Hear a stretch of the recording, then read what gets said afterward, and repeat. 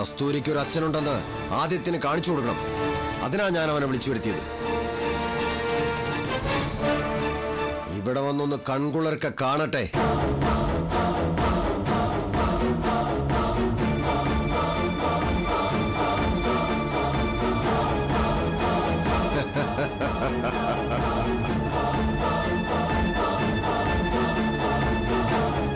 മാസി എന്റെ കുടുംബത്തെ കൂടി തകർക്കാൻ ഉദ്ദേശിച്ചാണ് എന്നെ ഇവിടെ പിടിച്ചുകൊണ്ട് വന്നത്.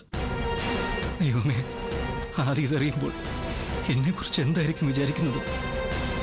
എന്റെ മോൾക്ക് കൗസ്തവത്തിലുള്ളവരുടെ മുന്നിൽ തലയുയർത്തി നിൽക്കാൻ പറ്റുമോ?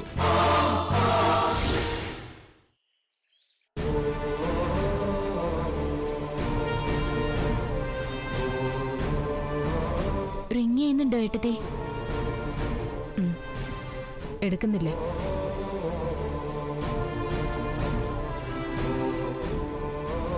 ഒന്നുകൂടി വിളിച്ചു നോക്ക് കൊച്ചമ്മേ. വിളിക്കേട്ടത്തി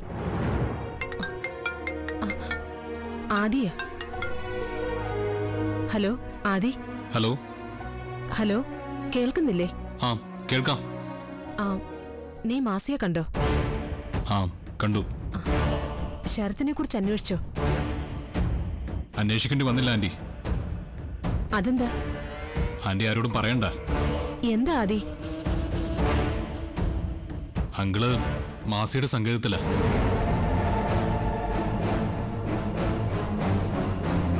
മാസിയുടെ സങ്കേതത്തിലോ? ആന്റി ടെൻഷൻ അടിക്കണ്ട. ആദ്യം ഒന്ന് വ്യക്തമായിട്ട് പറ. ശരത് എങ്ങനെ അവിടെ എത്തി? എത്തിയതല്ല. അങ്കിളിനെ മാസി കിഡ്നാപ്പ് ചെയ്തതാ.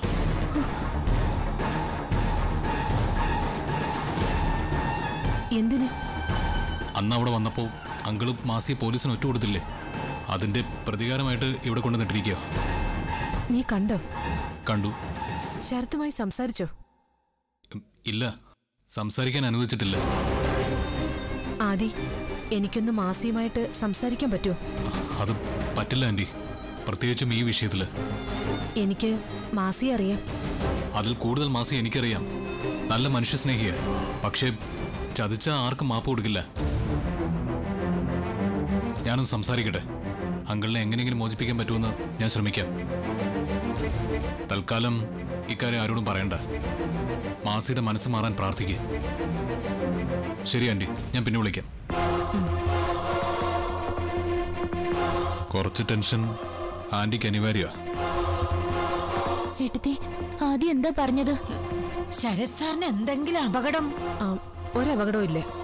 ഏട്ടിനെ പറ്റി എന്താ പറഞ്ഞേ? ശരത്തിനെ അവൻ കണ്ടു. മാസിയുടെ അടുത്തുണ്ട്. എപ്പോഴും ഇങ്ങോട്ട് വരിക അതൊന്നും പറഞ്ഞില്ല. വിളിക്കാന്ന് പറഞ്ഞു. ആ നീ ചെന്ന് അമ്മയോട് ശരത് ആദിയുടെ കൂടെ പൂമ്പാറയിലുണ്ടെന്ന് പറ. ആശ്വാസം ആയിക്കോട്ടെ കൊച്ചമ്മ ഈ പറയുന്നതൊന്നും അല്ലല്ലോ വാസ്തവം. അല്ലേ. ശരത്തിനെ മാസി കിഡ്നാപ്പ് ചെയ്തത്. മാസിയുടെ കസ്റ്റഡിയിലാണിപ്പോ ശരത്. എന്ന് വെച്ചാ ഞാൻ ഊഹിച്ചതുപോലെ ശരത് സാറിന്റെ ജീവൻ അപകടത്തിലാണ് അതേ കൊച്ചമ്മേ ഇക്കാര്യം ഞാൻ പറയാതിരുന്നതാ. സൂക്ഷിക്കണം. ആ ശരമേ ശരത്തിന്റെ ജീവൻ ഒരു ആപത്തും വരാതിരിക്കാൻ ഇന്ന് തന്നെ ഏതൊക്കെ ക്ഷേത്രങ്ങളിലാണെന്ന് വെച്ചാ വഴിപാട് നടത്തണം. ശനിദേവനെ പ്രീതിപ്പെടുത്തണം. മൃത്യുഞ്ജയ ഹോമം കഴിക്കണം. എന്തൊക്കെ വേണ്ടതെന്ന് വെച്ച ശാരമ്മ തന്നെ ചെയ്. ഉം. ശാരി അമ്മയും ഒന്നും അറിയണ്ട. ശരത്തിന് ഒരാപത്തും വരരുത് ശരത്തിനെ ഒന്നും ചെയ്യാതെ വിടാൻ മാസിയുടെ മനസ്സിൽ തോന്നിക്കണം. എല്ലാത്തിനും പ്രതിവിധിയുണ്ട്. എങ്കി അതിന് എന്താ വേണ്ടെന്ന് വെച്ചാ ശാരമ്മ ഇപ്പൊ തന്നെ ചെയ്യും കൊച്ചമ്മ വിഷമിക്കാതിരിക്കെ. എല്ലാം ശാരമ്മ ചെയ്തോളാം.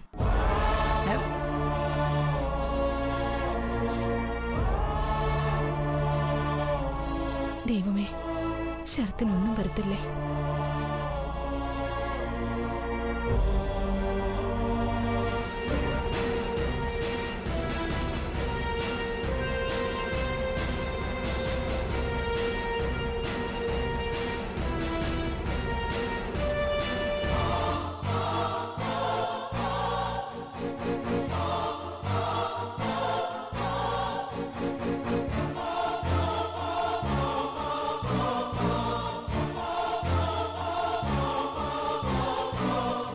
മാസി ആളെത്തുമെന്ന് പറയുമ്പോഴേക്കും ആളെത്തിയല്ലോ.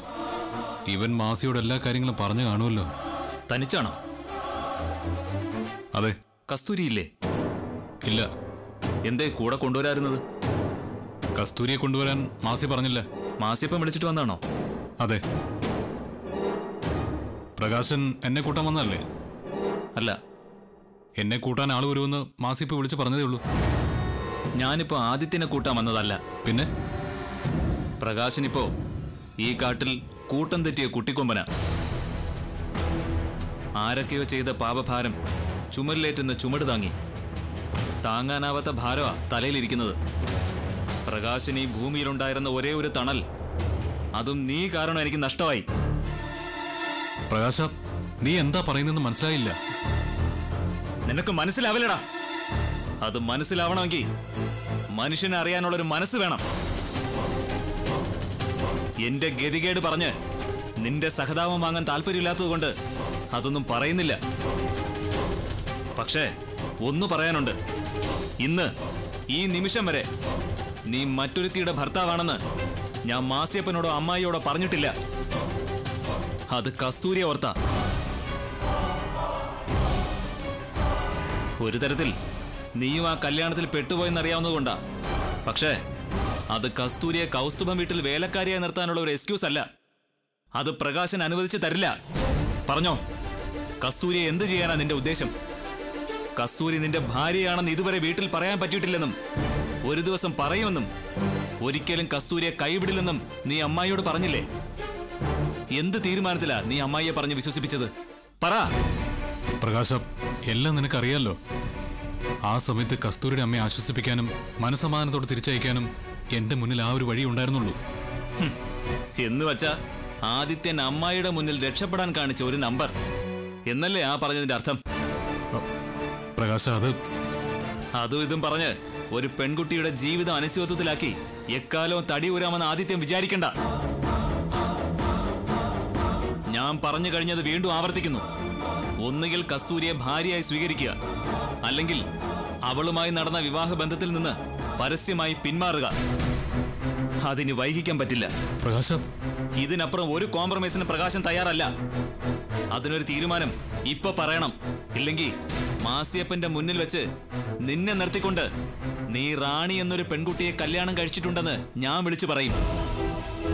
ഇനിയും എനിക്ക് ഈ രഹസ്യം മനസ്സിൽ കൊണ്ടുനടക്കാൻ പറ്റില്ല. എനിക്ക് എന്റെ മാസിയപ്പനെ ചതിക്കാൻ കഴിയില്ല. ചെയ്യാത്ത തെറ്റിന് ശിക്ഷ ഏറ്റുവാങ്ങാൻ പറ്റില്ല. പറഞ്ഞോ? ഇപ്പൊ പറഞ്ഞോ. പ്രകാശ എനിക്കൊരല്പം സാവകാശം തരണം. പ്ലീസ് ഞാൻ നിന്റെ കാൽ പിടിക്കാം. സാവകാശം തന്ന. നീ എന്ത് തീരുമാനിക്കും? റാണിയുമായുള്ള വിവാഹബന്ധം ഏർപ്പെടുത്തി വീട്ടുകാരെ നാട്ടുകാരെ അറിയിച്ചുകൊണ്ട് കസ്തൂരിയെ ഭാര്യയായി സ്വീകരിക്കാൻ പറ്റോ? പറ പറയാൻ. പറ്റില്ലെങ്കിൽ കസ്തൂരിയെ ഡൈവേഴ്സ് ചെയ്യേ. ഒന്നുകിൽ റാണി അല്ലെങ്കിൽ കസ്തൂരി. ഇതിൽ ആരെ ഭാര്യയെ സ്വീകരിക്കണമെന്ന് തീരുമാനിക്കേ. ഒരു തീരുമാനമില്ലാതെ മുന്നോട്ട് പോവാൻ പ്രകാശൻ അനുവദിക്കില്ല. എനിക്കിതിന് പെട്ടെന്നൊരു ഉത്തരം വേണം. കസ്തൂരി ഇയാൾ കൈവിടില്ലെന്നല്ലേ അമ്മായിയോട് പറഞ്ഞത്? അങ്ങനെയാണെങ്കിൽ റാണിയുമായുള്ള വിവാഹബന്ധം വേർപെടുത്തി അവളെ അവളുടെ വീട്ടിലേക്ക് പറഞ്ഞേക്ക്.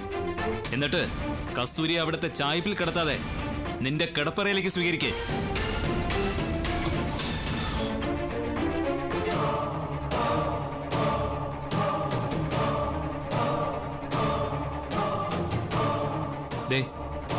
അമ്മായി വരുന്നുണ്ട്. പെട്ടെന്ന് തന്നെ ഇയാളുടെ തീരുമാനം എനിക്കറിയണം. ഞാൻ ഇവിടെയൊക്കെ തന്നെ ഉണ്ടാവും. പ്രകാശ?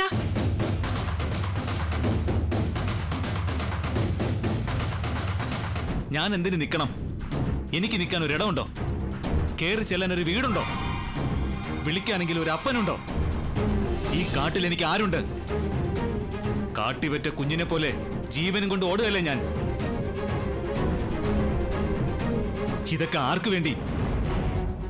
ആർക്കൊക്കെ വേണ്ടിയാ ഈ പ്രകാശൻ മാസിയപ്പന്റെ മുന്നിൽ ബലിയാടായത്? ഞാൻ കള്ളനായി. നിങ്ങളെല്ലാവരും തെളിഞ്ഞ വെള്ളത്തിലും എല്ലാം നഷ്ടപ്പെട്ടത് എനിക്കല്ലേ? പ്രകാശൻ ഞാൻ കരുതിയത് നീ മാസിയോട് എല്ലാം പറഞ്ഞു കാണൂന്ന്. നീ എന്നോട് പൊറുക്ക്. എല്ലാം സഹിക്കാനും പൊറുക്കാനും ഉള്ളതാണല്ലോ. പ്രകാശന്റെ ജീവിതം. പ്രകാശന് നഷ്ടപ്പെടാൻ അധികമൊന്നും ഉണ്ടായിരുന്നില്ല. ആകെ ഉണ്ടായിരുന്നത് മാസിയപ്പന. അതും പോയി. ഇനി പ്രകാശൻ അധികമൊന്നും ചിന്തിക്കാനില്ല. അതുകൊണ്ട് ആദിത്യൻ ഞാൻ പറഞ്ഞതിന് പെട്ടെന്ന് എനിക്കൊരു പരിഹാരം വേണം. ഞാനിപ്പോ ഒളിവില. ഒളിവിൽ നിന്നുള്ള അറ്റാക്ക് നിനക്ക് താങ്ങാനാവില്ല.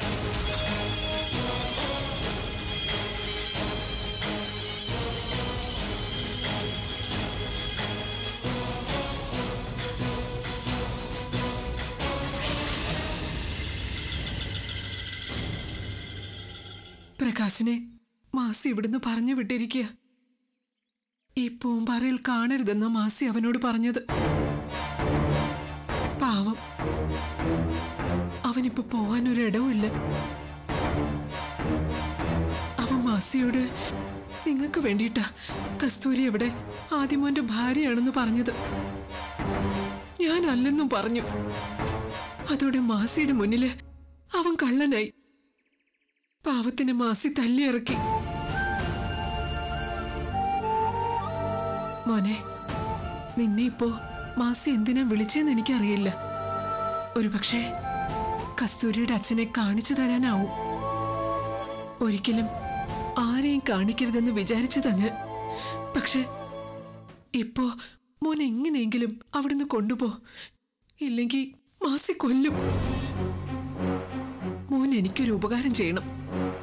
എന്റെ മോളെ അയാൾക്ക് കാണിച്ചു കൊടുക്കരുത്. അതുപോലെ ഒരിക്കലും കസ്തൂരി ആ മനുഷ്യനെ കാണുകയും ചെയ്യരുത്. അതെന്റെ ഒരു വാശിയാ. അവളൊരു ഡോക്ടർ ആവുന്നത് വരെ അവൾ അച്ഛനെയും അയാൾ കസ്തൂരിയെയും കാണരുതെന്ന് ഞാൻ ആഗ്രഹിച്ചതാ. ആ ഒരു ആഗ്രഹമെങ്കിലും മോനെ അമ്മയ്ക്ക് സാധിച്ചു തരണം.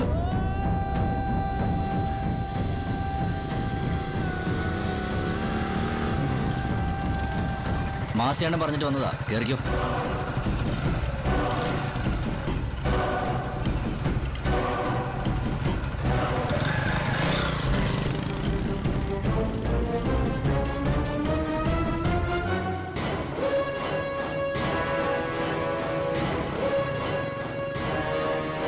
എന്തിനായിരിക്കും മാസിയപ്പൻ ആദിത്യനെ വരുത്തിച്ചത്?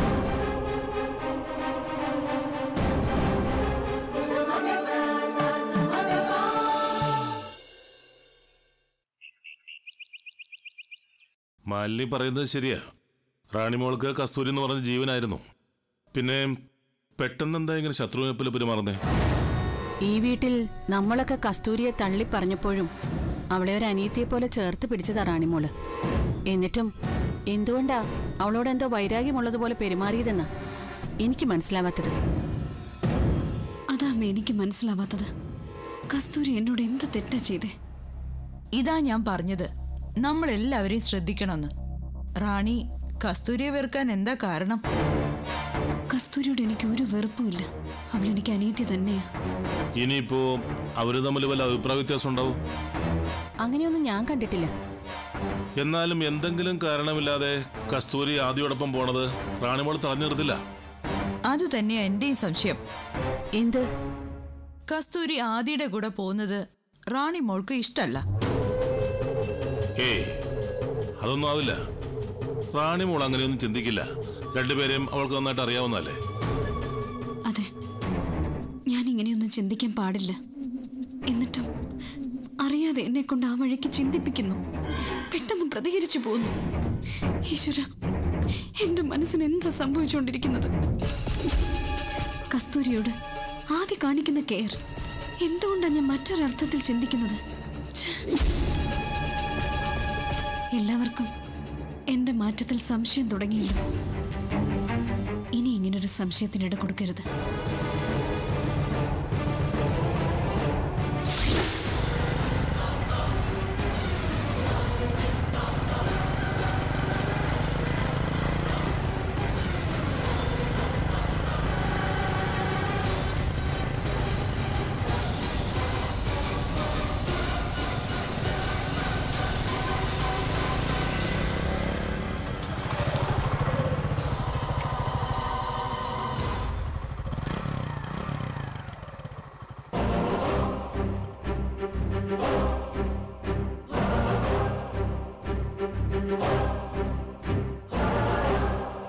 ഇറങ്ങിക്കോ സാറേ.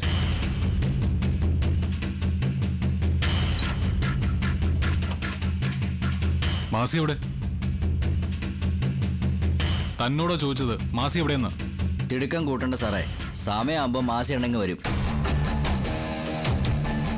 മാസി എണ്ണം വരുന്നതുവരെ സാർ ഈ കാട്ടിലെ കാറ്റും കാട്ടിന്റെ കുളിരും ഒന്ന് ആസ്വദിക്കും.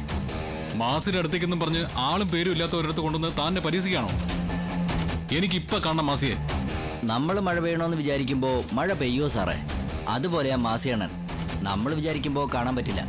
അതിന് മാസിയണ്ണൻ തന്നെ വിചാരിക്കണം. എന്തിനാ എന്നെ ഇങ്ങനെ ഒരു സ്ഥലത്തേക്ക് കൊണ്ടുവന്നത്? അത് മാസിയണ്ണനെ അറിയൂ. പാതി പറയുകയും പാതി ചെയ്തു തീർക്കുകയും ചെയ്യുന്ന ആളാ മാസിയണ്ണൻ. മാസി നാട്ടിൽ നിന്ന് ഒരാളെ പൊക്കിക്കൊണ്ട് വന്നിട്ടുണ്ടല്ലോ. അയാളെവിടെ? അയാൾ മറ്റൊരിടത്തുണ്ട്. എനിക്ക് അയാളുടെ അടുത്തേക്കാ പോകേണ്ടത്. ആയിരിക്കാം. പക്ഷേ സാറിനെ ഇങ്ങോട്ട് കൊണ്ടുവരാനാ മാസിയണ്ണന്റെ കൽപ്പന. മാസിയുടെ കൽപ്പന താൻ അനുസരിച്ചോ? എന്നെ അതിന് കിട്ടില്ല. എനിക്കിപ്പോ അയാളുടെ അടുത്ത് എത്തണം. സാറിപ്പോ വനത്തിലാ. നിന്ന് സാറിനെ എങ്ങോട്ട് പറഞ്ഞു വിടണമെന്ന് മാസിയണ്ണൻ തീരുമാനിക്കും. മാസിയുടെ മനസ്സിൽ എന്തായിരിക്കും? ഇവിടെ നിൽക്കുന്നത് അപകടമാണെന്ന് തോന്നുന്നു. എന്തായിരിക്കും അങ്കിളിന്റെ അവസ്ഥ?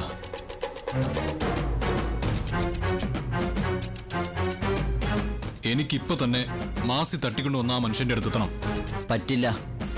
എന്തുകൊണ്ട് പറ്റില്ല? താൻ എന്നെ ഇവിടെ എത്തിച്ച വഴിയൊക്കെ എനിക്കറിയാം.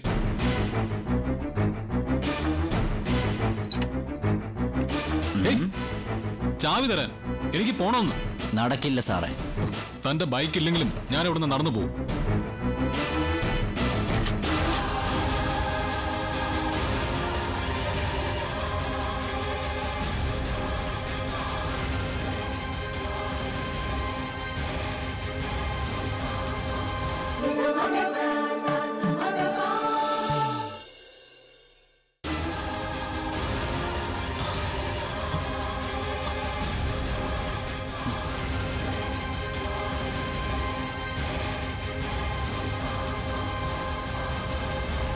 മാസി അണ്ണന്റെ അനുവാദമില്ലാതെ സാറിന് ഇവിടുന്ന് ഒരടി മുന്നോട്ട് വയ്ക്കാൻ പറ്റില്ല.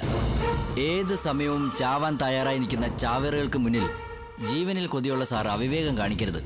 സാറിന് ആയുസ് വേണമെങ്കിൽ ഒരു പൊടിക്ക് അടങ്ങുന്നതാ നല്ലത്.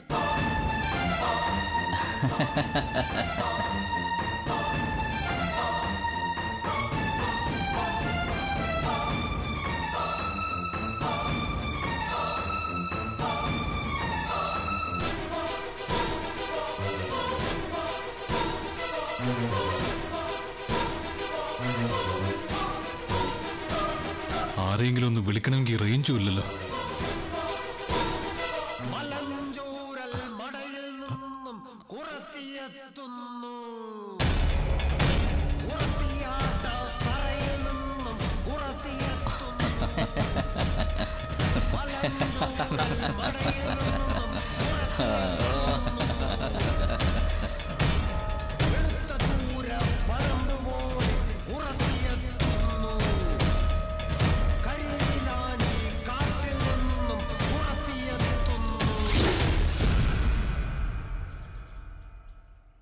എനിക്ക് പറ്റിപ്പോയൊരു തെറ്റിന്റെ പേരിൽ ഞാൻ ഇന്നുവരെ ആരെയും കുറ്റപ്പെടുത്തിയിട്ടില്ല.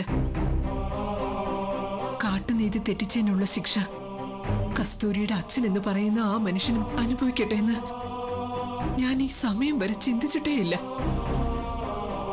കാടും വീടും എല്ലാവരും എന്നെ അവഗണിച്ചപ്പോഴും എന്റെ മോൾക്ക് വേണ്ടി മാത്രം ഞാൻ ജീവിച്ചത്. അവളെ മാറോട് ചേർത്ത് പിടിച്ച് നടക്കുമ്പോ പലരും എന്നെ നോക്കി കളിയാക്കി ചിരിച്ചിട്ടുണ്ട്. അതൊന്നും കണ്ടില്ലെന്ന് നടിച്ച്. ഞാൻ എന്റെ കസ്തൂരി മോളെ എത്ര കരുതലോടെ കൊണ്ടു നടന്നേന്നറിയോ? ഏഴോ എട്ടോ വയസ്സ് വരെ എന്റെ മോൾ അവളുടെ അച്ഛനെ കുറിച്ച് ചോദിച്ചിട്ടുള്ളൂ. അവളുടെ അമ്മ ചതിക്കപ്പെട്ടതാണെന്ന് അറിഞ്ഞതു മുതൽ അവൾ ഒരിക്കലും അച്ഛനെ കുറിച്ച് ചോദിച്ചിട്ടുമില്ല. പക്ഷെ ഇപ്പോ കസ്തൂരിയെ ഭാര്യയായിട്ട് അംഗീകരിക്കണമെങ്കിൽ അവളുടെ അച്ഛൻ ആരാണെന്ന് അറിയണം പോലും. അതിൽ കസ്തൂരിയുടെ ഭർത്താവിനെ കുറ്റം പറയാൻ പറ്റില്ല. കസ്തൂരിയുടെ അച്ഛൻ ഇപ്പോ മാസിയുടെ താവളത്തിലുണ്ടല്ലോ. ഒരു പക്ഷേ അതിനായിരിക്കും മാസി കസ്തൂരിയുടെ ഭർത്താവിനെ വിളിച്ചു വരുത്തിയത്. ആദ്യമോ കസ്തൂരിയുടെ അച്ഛനെ കണ്ടോട്ടെ. പക്ഷേ കസ്തൂരി കാണാൻ പാടില്ല. അവളൊരു നല്ല നിലയിൽ എത്തുന്നത് വരെ കാണിച്ചു കൊടുക്കില്ലെന്ന് ഞാൻ മനസ്സുകൊണ്ട് ശബ്ദം ചെയ്തതാ. ഇപ്പൊ ഇങ്ങനൊന്നും വാശി പിടിച്ചിട്ട് ഒരു കാര്യമില്ല കസ്തൂരിക്ക് അവളുടെ ഭർത്താവിന്റെ വീട്ടിൽ ഒരു ജീവിതം ഉണ്ടാവണമെങ്കിൽ നീ വാശി ഉപേക്ഷിച്ചേ പറ്റൂ. ഇല്ല. ഞാൻ സമ്മതിക്കില്ല. നീ എന്ത് വർത്താനീ പറയുന്നേ? കസ്തൂരി എക്കാലവും കെട്ടിയോന്റെ വീട്ടിൽ ഒരു അടുക്കളക്കാരിയായിട്ട് കഴിയണമെന്നാ കസ്തൂരി എന്റെ മോളാണെന്ന് പറയാൻ അയാൾ തയ്യാറാവാൻ പ്രാർത്ഥിക്കും. ഞാൻ പ്രാർത്ഥിച്ചില്ലെങ്കിലും കസ്തൂരിയെ മകളായി സ്വീകരിക്കാൻ ആ മനുഷ്യൻ എന്നേ തയ്യാറാ. ഒരിക്കൽ ഇവിടെ വന്ന് അവളെ വിട്ടുകൊടുക്കാൻ എന്റെ കാൽ പിടിച്ച് അപേക്ഷിച്ചതാ. എന്നിട്ട്? വിട്ടുകൊടുക്കുന്നത് പോയിട്ട് കാണാൻ പോലും അനുവദിക്കില്ലെന്ന് പറഞ്ഞ് ഞാൻ തിരിച്ചയച്ചു. നീ എന്ത് മണ്ടത്തിനെ കാണിച്ചത്? കസ്തൂരിക്ക് നല്ലൊരു ഭാവി ഉണ്ടാവുന്ന കാര്യമല്ലേ നീ മുടക്കിയത്? അതെ ഞാൻ മുടക്കിയതാ. മോളെ ഏറ്റെടുക്കാന്ന് പറഞ്ഞത്. എന്നെ വേണ്ട. ഞാൻ എങ്ങനെ ജീവിച്ചാലും ആർക്കൊരു ഒരു പ്രശ്നവുമില്ല. കസ്തൂരി അവളുടെ അച്ഛന്റെ കൂടെ ജീവിക്കും. ഞാനോ? ഞാൻ ആരെ കണ്ട് ജീവിക്കും? ആർക്ക് വേണ്ടി ജീവിക്കും? നീ പറ. ആരുണ്ട്?